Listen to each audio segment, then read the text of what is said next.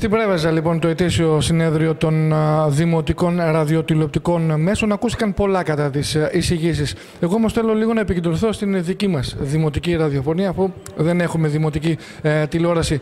Α, το μέλλον της δημοτικής ραδιοφωνίας, ενός ραδιοφώνου το οποίο ε, θα λέγαμε ότι μεγάλωσε γενιές, 30 χρόνια πλέον, έτσι. Ε, γεγονός είναι ότι υπάρχουν ε, προβλήματα που ταλανίζουν όλα τα ε, δημοτικά ραδιόφωνα και αυτό, αυτά προσπαθούμε να επιλύσουμε σήμερα.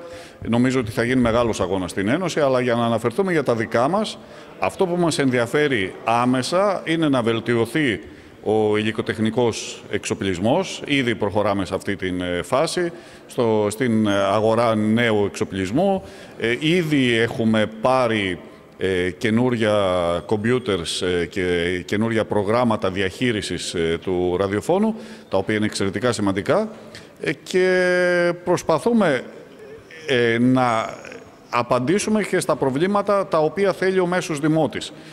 από κάποια στιγμή και μετά μόλις επιληθούν τα τεχνικά προβλήματα θα πρέπει να απευθυνθούμε στο δημότη ως διαβούλευση για να τον ρωτήσουμε πώς θα ήθελε το ραδιόφωνο ε, στην καθημερινότητά του. Έχουμε βέβαια μερικές σκέψεις. Από ό,τι ξέρετε, κύριε Βασιλιάδη, ε, εγώ με το, προσωπικά με το ραδιόφωνο ασχολούμαι εδώ και πάρα πάρα πολλά χρόνια.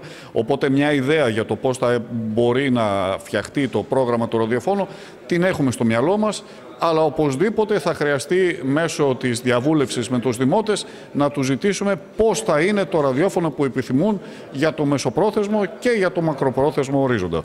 Ευχαριστούμε πάρα πολύ.